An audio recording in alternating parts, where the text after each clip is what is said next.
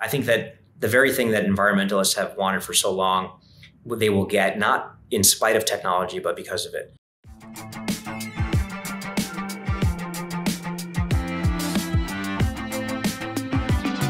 Welcome back to another episode of Empire, joined by, uh, per usual, Santiago Santos, and then a very special guest, Mr. Joff, Josh Wolfe, uh, co-founder of Lux Capital. Josh, our producer, always puts together these intros for me, where it's like you know maybe a paragraph, and in this one it just says three sentences. Co-founder Lux Capital, four billion AUM, best deep tech investor in the world, does absolutely everything, pure polymath. So hope you can live up to the intro from our producer.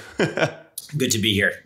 Good to see you. I know we only have an hour, so I want to just jump right into it. You wrote this article in Forbes in 2011 Why Solar Energy is Flaming Out and why the world needs it to happen faster. You said solar was going to be like this the flight of Icarus, right? So I think it'd be helpful to start there before jumping into nuclear. What is the state of renewable energy, not just nuclear, but really just renewable in the US right now? And and why'd you write this article over 10 years ago about why solar energy, this thing that everybody seems to maybe love, uh, you seem pretty against it. So let, let's just start with renewables in general. Well, some of it was contextual at the time. So go back, you know, 10, 11 years. You were coming off of one wave that really began with uh, Al Gore's movie, An Inconvenient Truth. And uh, I don't know how many people in current generation have seen that, but that was sort of you know, documentary PowerPoint that basically uh, chronicled the rising levels of carbon and had a prescription about a whole slew of things that you could do. And I think that prescription was towards the end of the movie. And it was like invest in alternatives and look at biofuels and look at solar, look at electrification of certain things, replace your compact or your uh, incandescent bulbs with uh, compact fluorescent light bulbs. And I don't even know if they mentioned LEDs and it created this movement. And you had a handful of prominent venture capitalists at the time. It was John Doerr, it was Vinod Khosla, um, that were basically uh, really hyping the conversion of biomass into energy and um, and solar in particular. And the idea was that solar was going to be like Moore's law, that the same fundamental components in semiconductors would have the same discrete density scaling that you get, which improves our logic every year and a half or two years uh, you know, for the same dollar uh, cost per compute that you would get the same thing in solar, and that just wasn't true. Uh, solar did not scale the same way that semiconductors did or do, nor did batteries. Uh, electric chemistry, you know, basically improves at the rate of six or seven or eight percent a year. So you're sort of doubling maybe in the course of a decade. And some of that is just basic material science. Um, some of that is um, the absence of the same sort of semiconductor uh, capital equipment tools that allowed for the ever self-fulfilling Moore's law. Uh, some of it was just excessive hype. And so go back 10 or 11 years, and there was almost a religion that had formed. Then, in my view, it started with the Al Gore movie around just a handful of technologies that were most dominated as solar and biofuels. And solar today, fast forward just in preview, lest anybody think like I'm some heretic, um, you know, we just made one of our largest, you know, alternative energy or energy investments in company Aurora Solar, which is sort of focused on the infrastructure of deploying solar and, and fulfilling it. But I'm a big believer in solar. I just always thought that it would take a lot longer than people expected. So you go back 2010, 2011, they're about history doesn't uh, repeat, but it rhymes, uh, as the old cliche goes. And the analogy that we found for solar was global crossing. A global crossing, you have to go back 20 years you had hype around the internet in 1998, 9, 2000. Uh, internet bandwidth, where the belief of internet bandwidth and demand for it was doubling, people thought every month. Now it turned out it wasn't as frequent as every month. It was something like every you know year. But um, George Gilder at the time was a, a big proponent uh, and sort of pundit about the telecosm and the rise of the need for optical networking. Uh, that helped to usher in entrepreneurs, and particularly um, uh, guy Gary Winnick, who was an ex-Milken guy that was able to raise billions of dollars to do a global scale fiber optic network called Global Crossing. Undersea fiber optic cables. Uh, what ended up happening is billions of dollars were spent. Those fiber optic cables got laid and lit. And the beneficiary of most of that was the third world who got connected to the internet, mostly for free on the largesse of you know then VCs and some growth equity investors. The distressed guys did spectacularly well in the cleanup, basically picking up very expensive assets for cents on the dollar. And so I thought that if history didn't repeat but rhymed, that solar was going to follow the way of global crossing, by which all of the entrants, propelled by the hype and enthusiasm, were going to get funded. More and more people would build factories to build solar cells. At the time, there were all kinds of different configurations. They hadn't yet sort of centered on a standard. So you had large, flat, planar solar cells. You had rolled ones. You had thin film uh, photovoltaics. You had um, transparent things. People were trying to figure out roofing materials. And so the prophecy that I had, just zooming back, was that 99% of these things would fail. They would, you know, proverbially fly cl- too close to the sun. Uh, their wings would be burned and they would crash down. And then somebody cleverly would come, just like the distress guys did with Global Crossing, and pick up those assets for cents on the dollar.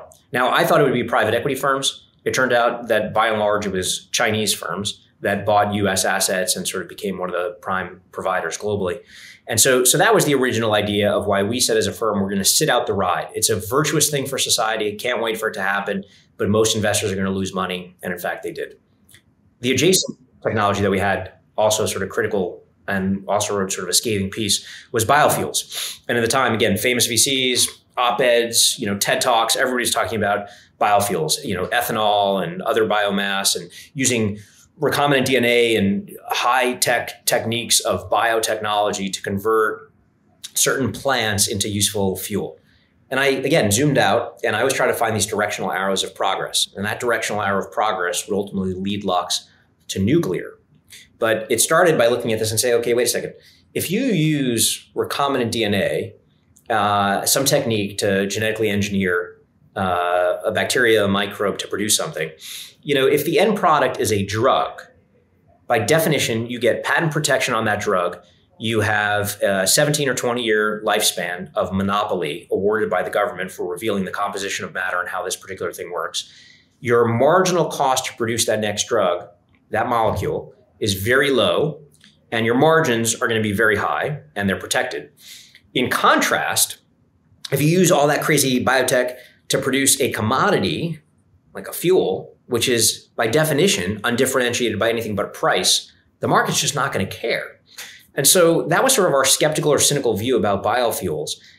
And then, sure enough, you know, dozens, if not hundreds, of biofuel companies uh, not only raised tons of venture money, but also got tons of government subsidies. And almost all of these things crashed. Many of them were just terminal zeros. They were great short candidates when they went public for public market hedge funds. Um, and, and very little was left by the wayside in terms of the detritus, you know, for people to take recombinatorial fodder of some of these failed companies and do something with. Um, but all of that, again, zooming out, where you had religious consensus, everybody was praying at the altar of Al Gore, and they were pursuing biofuels and solar because it felt virtuous. Um, and both of those things ended in colossal disasters. You know, you had some firms like Kleiner that really bet their firm at the time on, uh, on Kleiner Perkins, which was a storied firm. You had Kleiner Sequoia at the time, you know, that were just competing head to head about who had credit for Google. And then Kleiner took a bet, and it maybe could have paid off. Uh, they went off for clean tech and green tech and alternative energy, and John Doerr crying on stages, and Sequoia just sort of went, you know, Web two into a different path. And uh, it's just very interesting fates that, uh, on the bets that they took. But the, the insight that we had was actually a very simple physics insight, which was about energy density. And when you zoom out and look at mankind's use of energy, we went from carbohydrates, you know, taking wood uh, and, and burning it and producing fuel and fire and heat to cook and heat ourselves, from carbohydrates to hydrocarbons, you know, dead dinosaurs, oil, natural gas, and remnants of life from millions of years ago. And then we went from carbohydrates to hydrocarbons to uranium and nuclear and the discovery of an atom just, you know, 102 years ago. I mean, you know, it's crazy. And uh, we'll talk about the rebranding of nuclear and what happened in a bit. But that trend from carbohydrates to hydrocarbons to uranium undeniably was more energy density per unit of raw material. And it was clear to us that you're just not going back to growing fields of fuel. You're not going to take acres and acres and and grow stuff when a single pellet of uranium could contain more power and unleash more power with zero carbon. So if you were a true environmentalist and really cared about low carbon, this was the only way to go. So that's where it started with that piece on solar, led to biofuels. We call them, by the way, biofools, very arrogantly. And, um, and then it led us into nuclear. To me, it seems like to fight climate change, it's kind of like uh, this linear progress, right? You need to fight climate change, you need to reduce carbon emissions to zero. To do that, we need to electrify more more stuff, and to do that, we need better sources of reliable, cheap, zero carbon electricity. That's me, like the outsider here. Um, when I'm looking at what's happening, it seems like solar and wind and all that kind of stuff. But it feels like your argument is that's not actually the best thing to do. I saw you tweeted out there's never been a better setup for nuclear in history, right? You've got uh, global energy shock and constraints, higher prices, commodities, metals, mining, demand, cheap or cheap energy, and kind of next gen environmentalists awakening to it. So paint the picture for us. Why is nuclear this this amazing uh, kind of end all be all here, and why should we be focusing on it?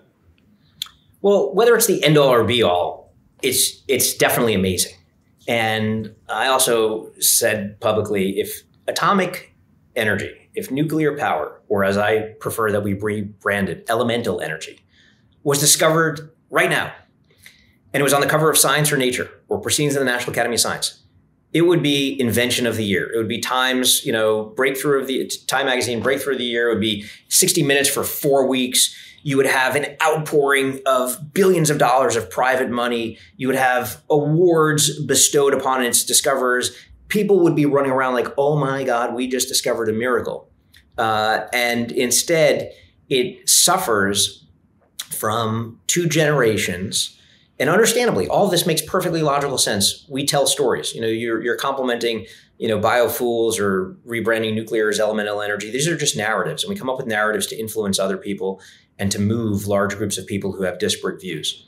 Um, religions are very good at this, and you can argue that in many ways, the uh, clean tech, green tech, alternative energy movement at times has a religiosity to it and a certain dogma of what is, you know, part of that um, dogma and what is not. And historically, if you were an environmentalist, you were against nuclear. You were pro wind, solar, uh, hydro. Maybe you like natural gas in certain domains, but uh, you were definitely against coal and you were you were definitely against um, nuclear. And the reason people were against nuclear is because in the 70s you had a whole slew of musicians, people that my mom you know loved coming out of Woodstock, the Neil Youngs and Crosby, Stills and Nash and Patti Smith and Laura Nyro and folk singers and um, Paul Simon, and they all came out, and there was actually a concert called No Nukes. And it was around the time in the late 70s that you had Three Mile Island, uh, which was a a existence proof of how an engineering system could stop a disaster from happening. Because actually there was no radiation, nobody died, but Three Mile Island also happened to coincide with a fictionalized movie called The China Syndrome, which was about a nuclear disaster. So now you've got a real life headline grabbing story, and you've got, you know, at the time there were fewer movies and they got a lot more attention than what we have today. And that combined with the cultural zeitgeist of influencers of the time, which were musicians, conflated nuclear war, which everybody should be against, with nuclear power, which everybody should be for. And you had 30 or 40 years of people that were basically against nukes. So uh, if you actually look at nuclear power, in France, about 80% of electricity generated cleanly, zero carbon. Um, they are engineering forward. They're great leaders in it. Uh, they have far lower dependence on foreigners, in particular Russia, for natural gas. Uh, if you take the US, about 20% of our electricity uh, comes from nuclear, and it's been about steady state. The benefits are you have no intermittency. You are not dependent upon the weather. You're not dependent on cloud cover or wind. Uh, you're not dependent on um, uh, you know anything exogenous. We have 104 domestic reactors and we also roughly have another 104 reactors with great operating history that are moving all around the world. And those are inside of Navy nuclear subs. They're smaller modular reactors, maybe 100 megawatts or more, versus the uh, gigawatt power plants that we have that basically each one serves around a million people.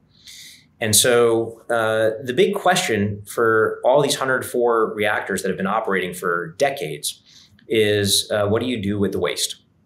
And so when we got interested in the space at the time, 104 domestic reactors, roughly 440 globally. China will talk a lot about clean and green, but they're building more coal plants than anybody. They are also building more nuclear plants than anybody. And so they are racing towards their own energy independence.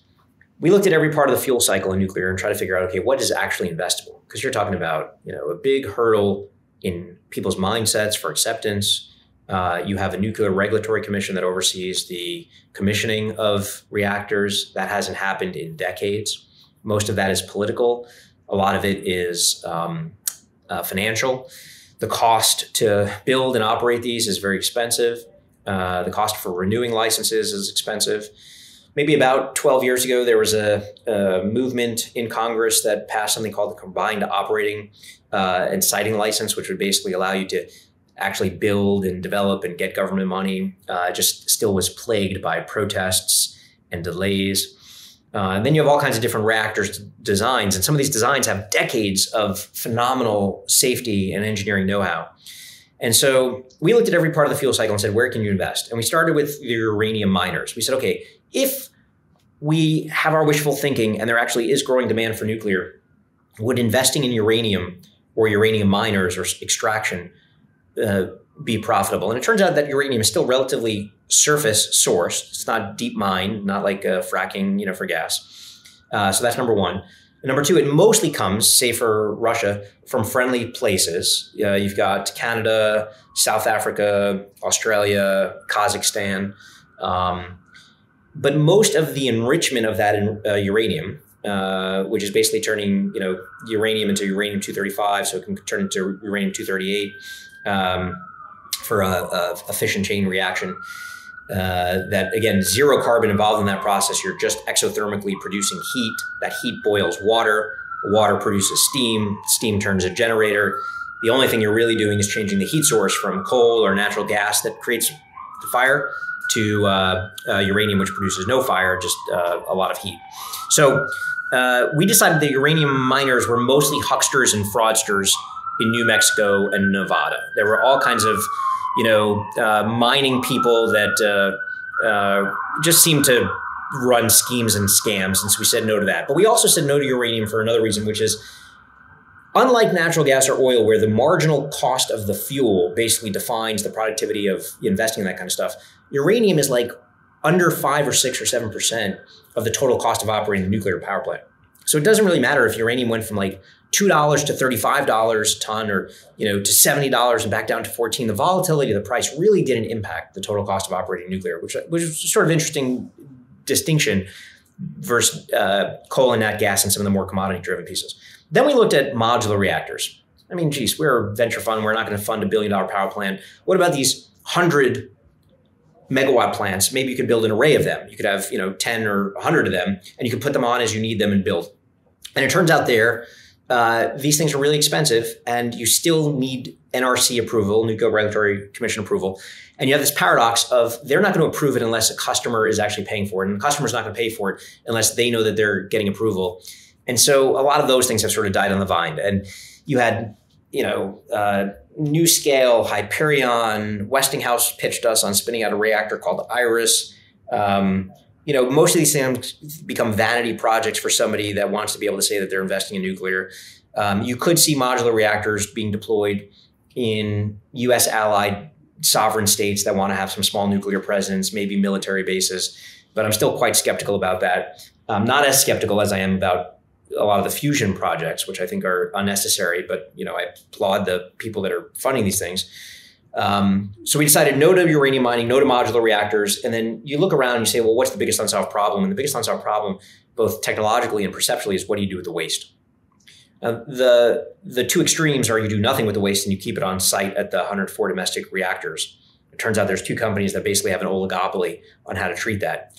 Uh, one is called Transnuclear, which is owned by Areva. One is called Holtec, which is a small business uh, or now large business out of Philadelphia area, Pennsylvania area. One makes a, a coffin that is vertical. One makes a coffin that is uh, horizontal. That's it. That's the difference. Uh, they're concrete and steel, and a robotic arm basically takes uh, when when nuclear uh, rods are done they, they are moved uh, after they've burned down. They're moved into a pool of water. They sit there for five years. Water is a natural neutron absorber, so it's just basically burning off heat. Uh, and then they're picked up and put into these uh, coffins, these canisters. They're large, and they just sit on site. The entirety of all of the nuclear waste in this country could fit onto one football field. Again, talking about the density of this power, it's just it's it's just maybe it's two football fields, but it's tiny. And uh, so, so you've got somebody that makes the infrastructure that basically holds the nuclear waste, the spent fuel in the rods. The, the next extreme is that you take that waste and you would ship it somewhere. And I was with uh, two senators from Nevada uh, recently, and before I could even finish the question, the question being, will Yucca Mountain ever, uh, I meant to say, will Yucca Mountain ever open? They were like, no. Yucca Mountain is a geological repository uh, in Nevada. It has a giant mountain site. Uh, billions of dollars have been spent developing this with the idea that one day in the future, which will never occur, waste would be shipped there uh, and stored safely and protected from the environment. Uh, Nevada will never let it happen for NIMBY reasons. And frankly, even if they did, I think every other state would be like, hell no, you're not shipping nuclear waste, you know, on a train or a truck, you know, through my state. Um, so, so the geological repository likely will never happen. The most likely thing is just stays on site. The alternative is what Bill Gates was trying to do with TerraPower. And TerraPower was a traveling wave nuclear reactor that would basically say, why don't we take the spent nuclear fuel and try to create more fuel out of that? And it was a reactor design that would allow you to do that. So you basically use waste as fuel, which was a clever design. Uh, he actually got quite close. They got quite close in um, getting China to actually deploy this. And then for a variety of geopolitical and other reasons, that got killed a few years ago. And now its fate is really in question. And unless Bill, which he's entirely capable of, will continue to fund it, you know, it's going to have some serious financial risk. Where we decided to focus was on two classes of waste. One was the low level waste, that is at nuclear power plants, and the other is high level waste. Low level waste is what a, a worker gets when they are exposed to a certain amount of radiation working on site. Um, they all wear uh, dosimeters that basically you know tell them how much radiation they have, and they can only be you know for certain periods of time. Uh, their clothes, the equipment, uh, all that kind of stuff. Uh, you can treat that stuff. Uh, the high level waste is the really attractive stuff, which is it turns out after I read a paper uh, and it literally said like there were billions of curies. Curie is a measure for radioactive uh, radioactivity in a place called Hanford. I had never heard of this. And as I did more and more work and research this, I learned that Hanford and Savannah River and Idaho National Labs and a handful of other sites in the US, once secretive, now known, were the sites where our pre and post Cold War bombs were being made, atomic bombs were being made. And the waste at a place like Hanford is hundreds and hundreds of millions of gallons of radioactive waste. Giant drums, you know, uh, thousands of square feet wide, uh, and and hundreds and hundreds of these things. And what's crazy is about a quarter of the Department of Energy's budget is spent on cleaning this stuff up. So you think that DOE is spending on clean and green and solar and all this kind of stuff. They're actually spending at places like Hanford to clean up nuclear waste. That money went to URS, CH2M Hill, Fluor, the big engineering primes, and we basically said there's got to be a technologically better way to do this. And then we would go and you know start this company Kurion. I want to actually get into some of the geopolitics of this for a second because you've mentioned China a couple of times. I'm also thinking about Russia and what's going on right now with Ukraine. There was this Paul Graham tweet that I uh, that I want to get your take on. He said, first, COVID accelerated the shift to remote work, and now the Ukraine uh, war is accelerating the shift to nuclear. Crises force people to see the future. Uh, and there was a, I think that was a kind of quote tweet to something Belgium is set to postpone its plan to shut down nuclear energy by 10 years amid the energy crisis. So, how does what's going on in Russia and Ukraine impact what you think the state of nuclear will become?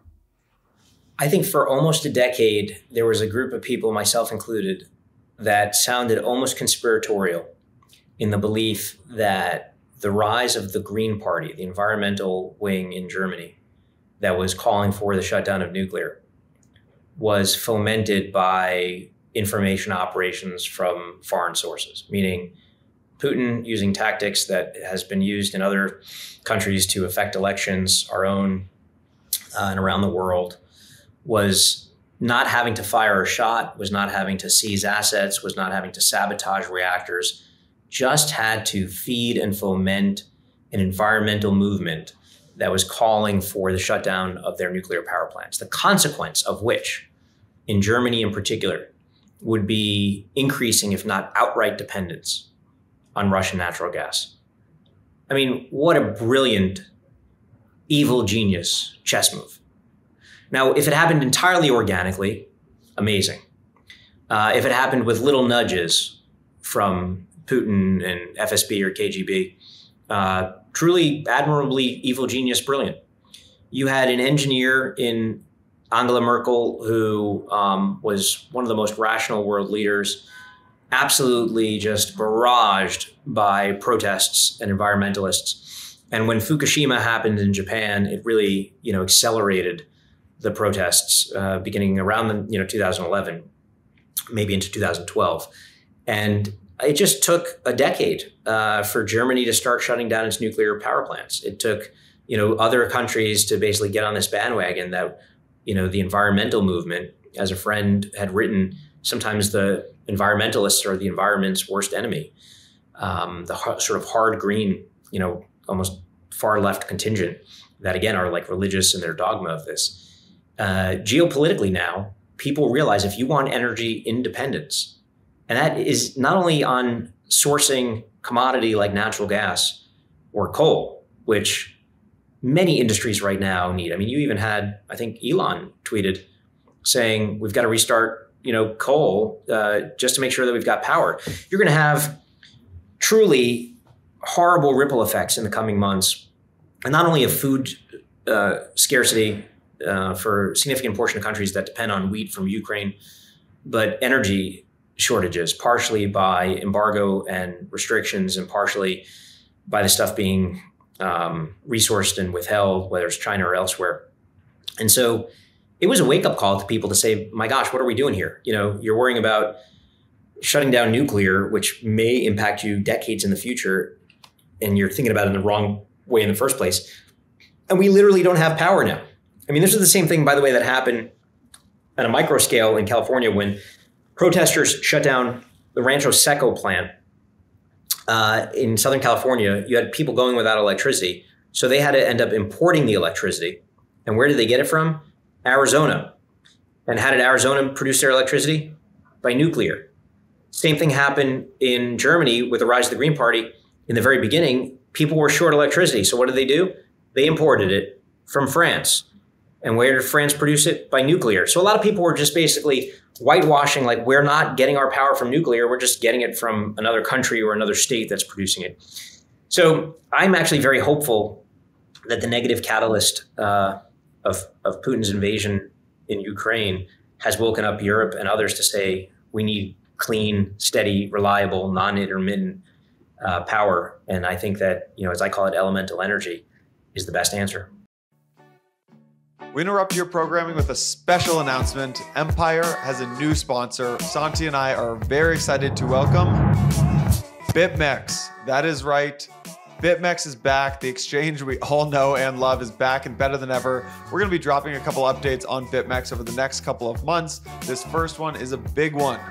Coming soon, BitMEX is rolling out their spot exchange and they're giving away $500,000 in Bitcoin to new users. That's right. Listening to Empire has got the alpha. Santi and I got you $500,000 in Bitcoin going to new users. For the OGs, I don't think I need to tell you why you need to use BitMEX. It's a love of the game kind of thing. You respect crypto, you use BitMEX. For those newer to the uh, industry, BitMEX has a long and great history of innovation since their launch in 2014.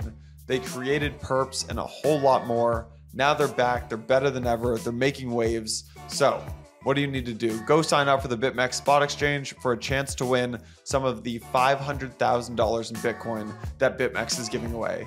B I T M E X, B I T M E X.com. That's bitmex.com. Go make it happen. Now, let's get back to the show my understanding is that Germany, I think, shut down three out of the 10 reactors. Um, and it is very hard to reinstate that if you wanted to. Um, I think it was that decision came a few years ago. So assume, assume that the world kind of, the narrative totally changes and you want to make nuclear the number one source of energy. Um, how, how quickly can we get there and what perhaps needs to happen? You know, uh, you saw a war machine in both Germany and the U.S. mobilized in incredible fashion during World War II. Um, the prolific uh, output to produce, you know, ships, planes, tanks, uh, real hard material um, was unprecedented in human history. uh, where there's a will, there's a way. And the will at the moment is largely fractured with people with all kinds of competing interests. Um, there is observably to me who saw it 15 years ago and then 10 years ago and five years ago, just the the sort of survey of people that were pro-nuclear. You know, and about 10 years ago, you had environmentalists that once were pro Greenpeace, you know, or even Greenpeace founders, brilliant longtime technologists and true environmentalists like Stewart Brand, or in Greenpeace's case, Patrick Moore, who suddenly were turning and saying, wait a second, if we really care about the environment, you know, nuclear is the answer. We, we can't not look at this. And then others like Michael Shellenberger, who have been outspoken. And then um, you see this younger movement of people that are suddenly not indoctrinated with, as I talked about before, the old Neil Young, you know, Patti Smith musician conflation of nuclear power and nuclear war. And I think it's a beautiful thing because people suddenly see it as a super high tech, zero carbon, truly futuristic, you know, sci-fi imagination of like what the future of cities could be.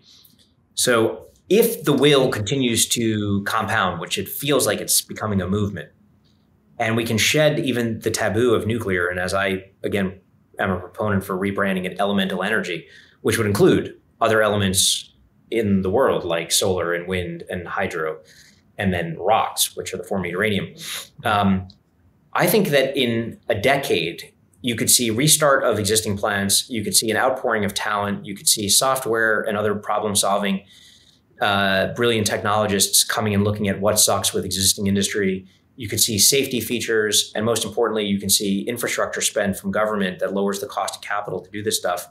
You could see the U.S. increase realistically, you know, 15 or 20 percent. You know, maybe you went to 120 reactors or something like that.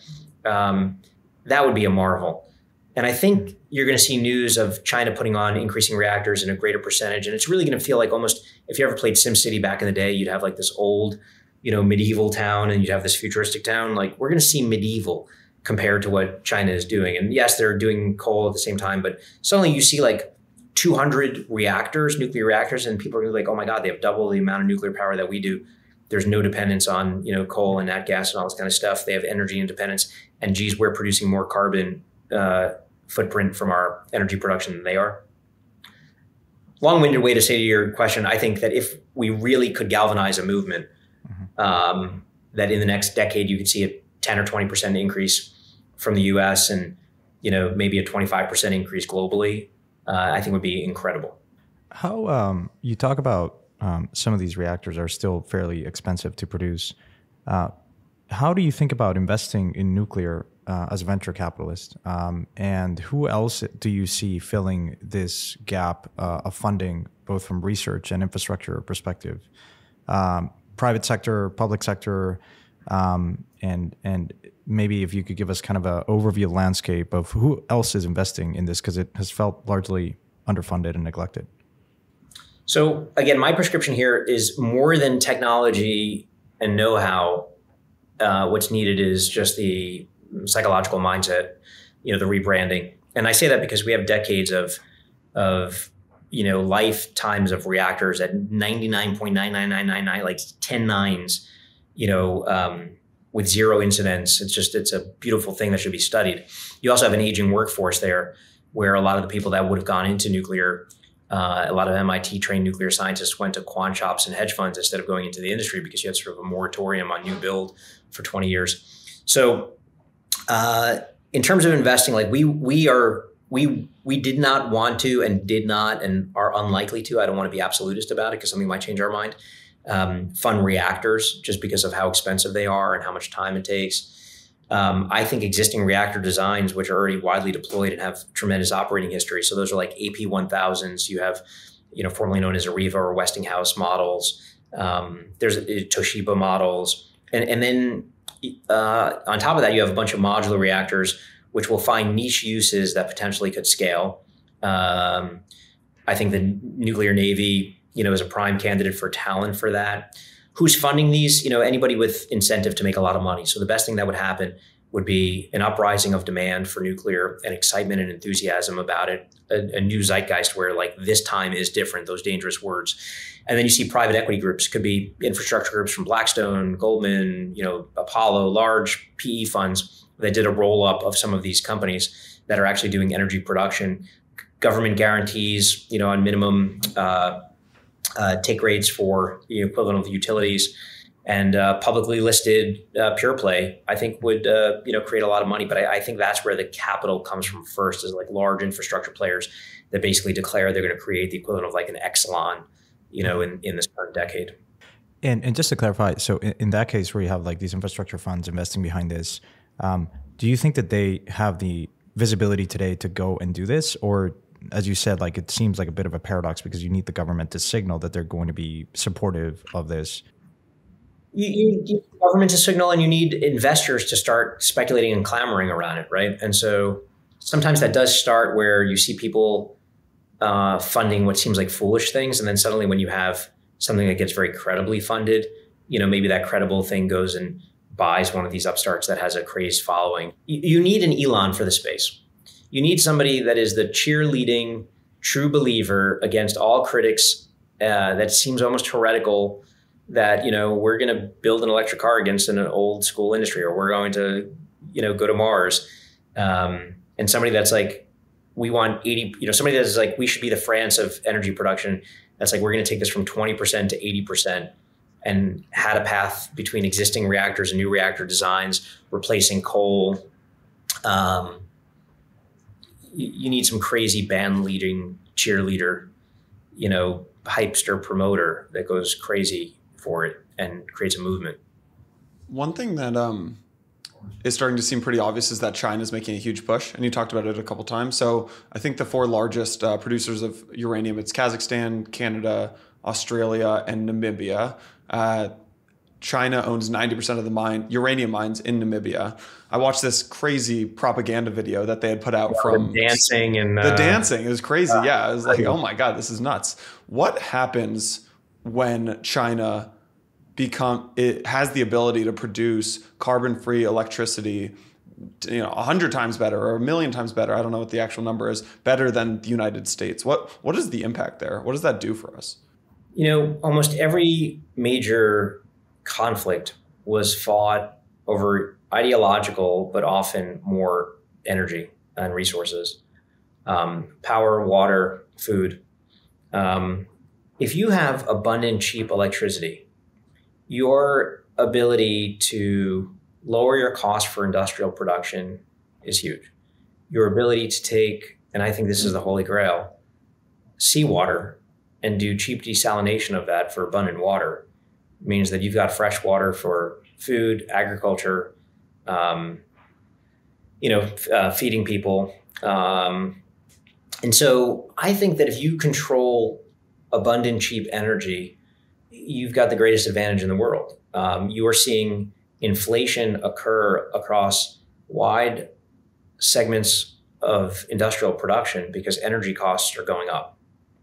And so if you can lower energy costs, you have a competitive advantage, you can produce more. So the production function is impacted by energy. And every production function, again, you know, food, steel, um, cars, computers, semiconductors, let alone crypto, um, you know, everything requires energy. And so the short answer to your question is whoever gets the most reliable, cheapest source of electricity production, not to say the cleanest, although nuclear is, really has a global competitive advantage. China can produce more material, they can produce more ships, more jets, more engines, um, more cars, more steel, more silicon. Uh, and if we're sitting here and you know rationing energy because we're running out, like you saw in the 70s with like the oil embargo, I mean, it is a recipe for national suicide.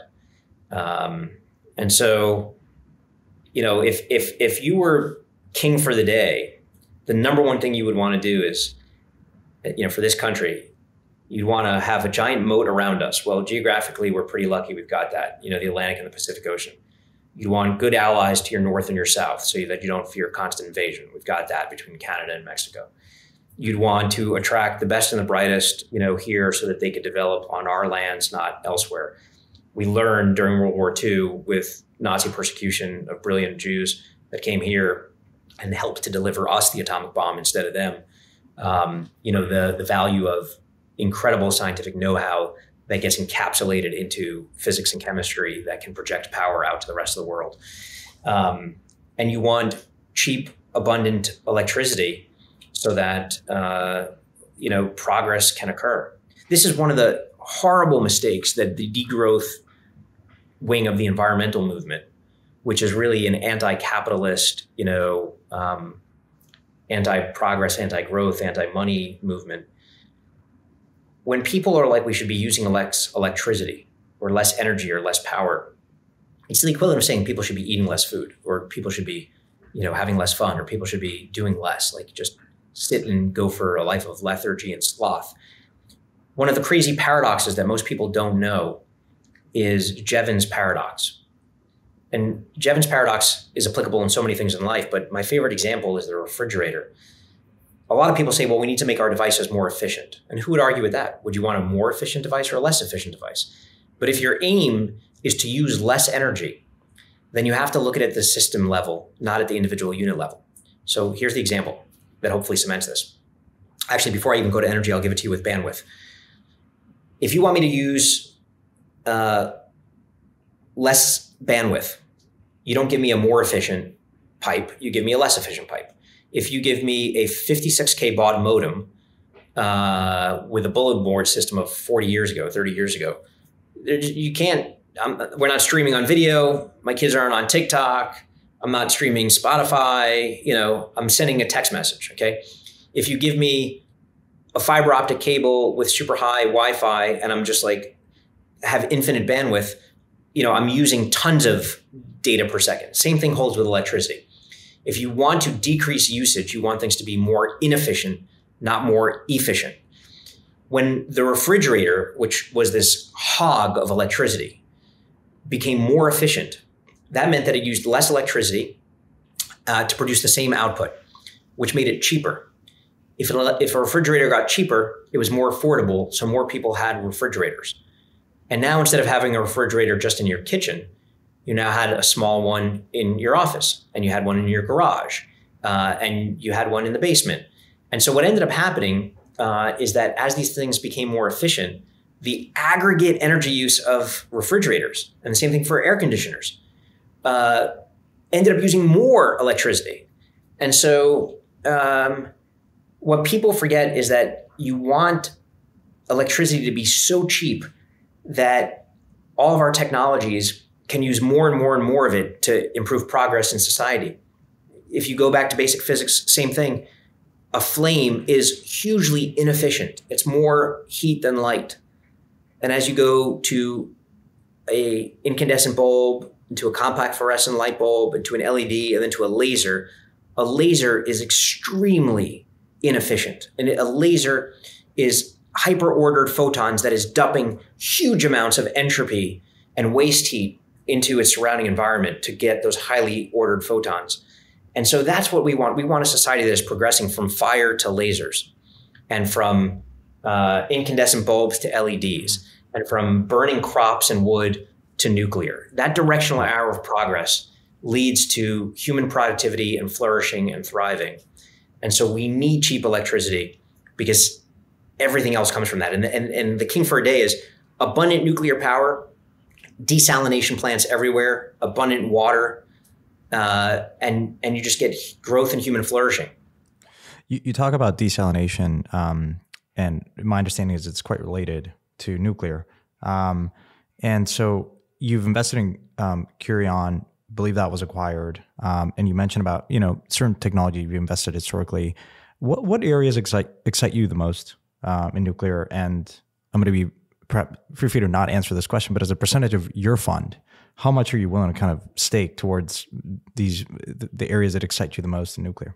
Well, we, we if we found an incredible set of entrepreneurs or an absolutely mind blowing technology, we'd not be afraid to put 20% of our fund, which you know, latest pool of capital was a billion and a half dollars. You're talking about 300 million dollars, you know, into one or more ideas in, in a sector.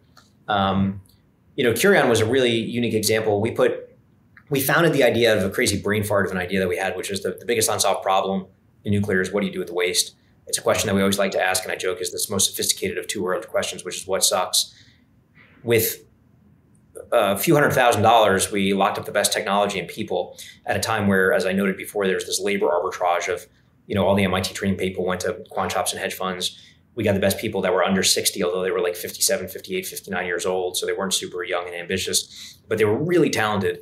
And then we locked up all this technology between robotic handling of stuff, material science, physics, chemistry that could separate isotopes like cesium and strontium, technetium and uranium and plutonium.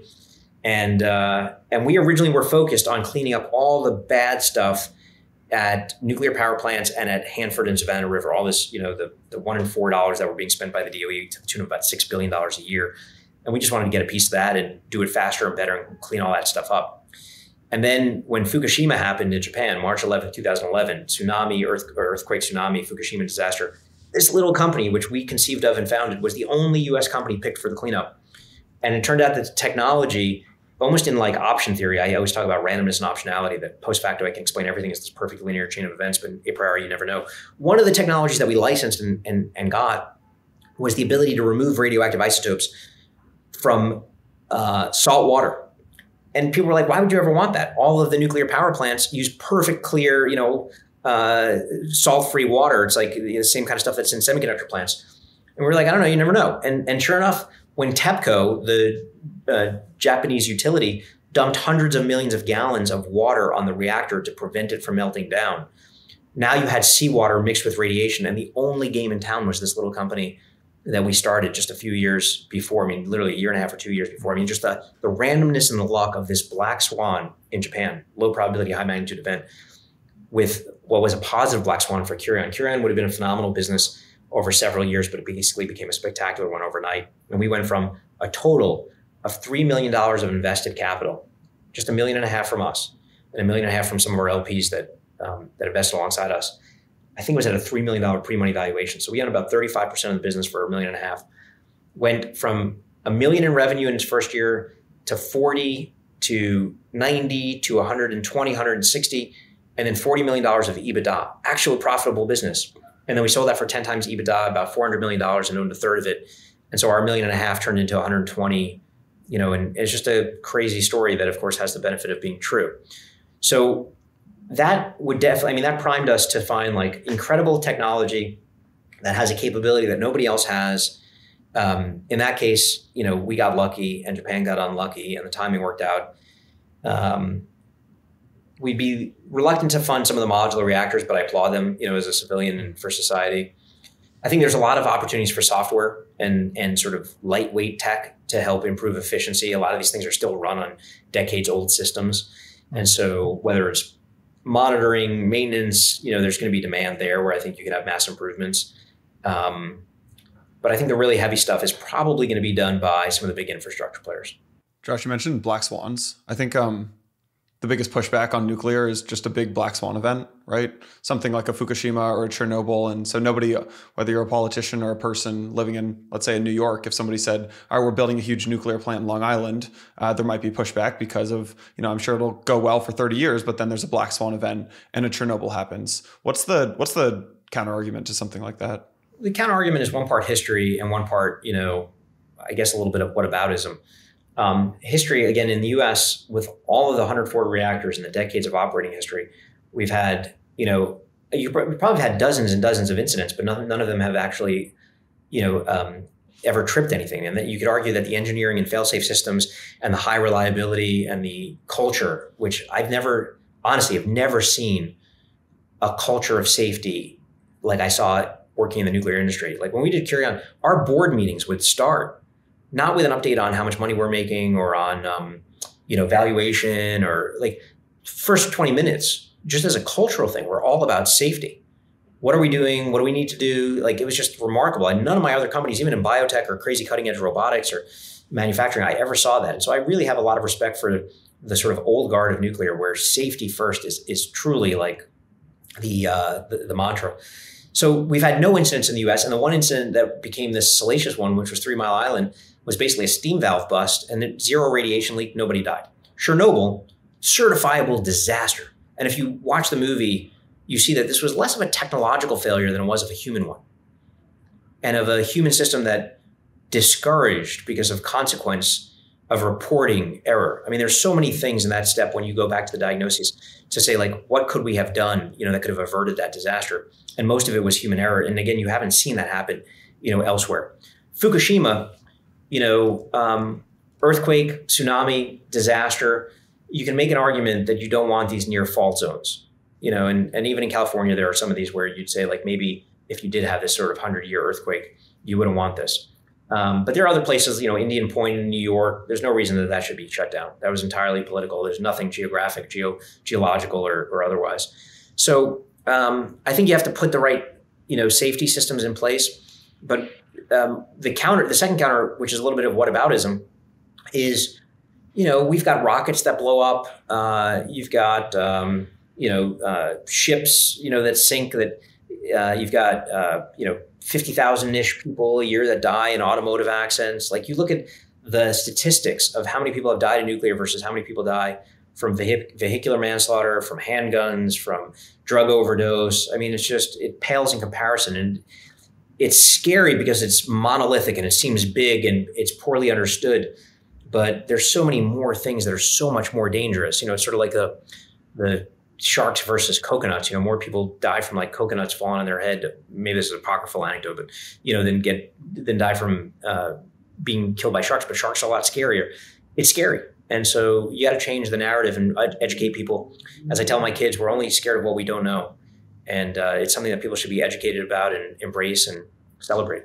Josh, as a closing question here, you are investing kind of at the the deepest ends of technology. You've got non-volatile memory and nuclear waste, waste technology, things that connect the gut and the brain, CRISPR delivery, 4D lidar. Can you just paint Santiago and me? Can you just paint a picture for us of what the future looks like? Maybe not in two or three years, but in 10 to 15 years. What are the? You strike me as someone who's uh, a real optimist. Like, what does the future look like? And uh, that maybe weren't things that we're not thinking about yet you know, there's some obvious things like cars on roads, you know, in a generation um, are just going to change. The idea, you know, outside my New York City office here, I can look and I can see thousands of parked cars on the side, you know, and uh, I think that that will change. I think you'll see more green spaces, increasing urbanization. Um, I think that the very thing that environmentalists have wanted for so long, they will get not in spite of technology, but because of it you know, autonomous cars that can shuttle you around and deliver 24 hours a day, you know, a grid of cheap electricity, um, you know, more green spaces. People want that. People want more green spaces. They don't want these brutalist, cold, you know, institutional um, buildings. And and so so I think that the city of the future, life in the future, I imagine that. And you will always have one end of the cohort of people that are going to want to be ensconced in you know some future future virtual reality uh, with ever higher fidelity. Uh, and then you'll have a whole group of people that will want to reject that and just be around each other. And, you know, I think COVID was sort of like a preview of this. You know, there are people that now are happy to see their personalities and uh, the multidimensional matrix of who we are compressed into two dimensional pixels as we are all talking now and are happy to, you know, be able to multitask and shift from this to playing games to doing emails and being productive and just sitting in front of a screen. And there's other people that want to be back out, you know, with people, um, whether that's in offices or at festivals or concerts or restaurants or whatever. And so you're always going to have a bifurcation of humans. And I think the future is going to be very much like the past. If you really were honest today and you said like, what has changed? On the one hand, yes, we have information at the tip of our fingers. You have every song catalog, every movie catalog, infinite remixability. Um, but mostly, if you went back 30 years or 50 years or 70 years, we just have a lot more screens around us. That's probably the biggest thing. There's screens everywhere. Uh, and the screens are flat and they're abundant and they're on our body and they're on our walls. But, you know, people still go to the bathroom, they still eat dinner together, they still drink wine, they still fight. Human nature is a constant. And so the future is going to mostly resemble the past with a lot more machines helping us. And, uh, and I do think that most of the machines are going to be, you know, of that poem much more of uh, machines of loving grace than they will be, you know, non-benevolent Terminator Evil killers. Terminator. yeah, it's awesome. You know, it's, it's great to have someone like you, Josh, because I think crypto. What initially inspired this episode was because we see a lot of similarities in narrative in crypto over the last ten years. How much has that changed? and hopefully nuclear goes through that similar evolution. Um, and so I think we, if you have, or we'll be now thinking of who could be that champion for nuclear. Uh, maybe you, maybe someone else. it, will happen organically. Um, it's going to be somebody more brash and younger than me, um, and super inspiring in the same way. You know, whoever Satoshi is, whoever adopted that, whoever started promoting it, you know, you had a bifurcation of like hucksters and promoters, and then hardcore mathematicians and computer scientists. It was met as every movement is with a combination of like true believers and skeptics, and then it just started to evolve and create a movement. And so I think you need the same sort of thing. You know, somebody will create a movement as almost everything has, and that movement happens not because of technology, but because of you know our humanity, ambition, greed, desire, quest for status, vainglorious, all of it. And so uh, it'll it'll happen, but it'll you know whoever she or he is, you know, is out there. Well, thanks so much for coming on the on the show, and I think this can be really useful for folks uh, to learn about nuclear and, and, get this brain dump from you. So really appreciate cool. it. Yeah. Talk to you guys later.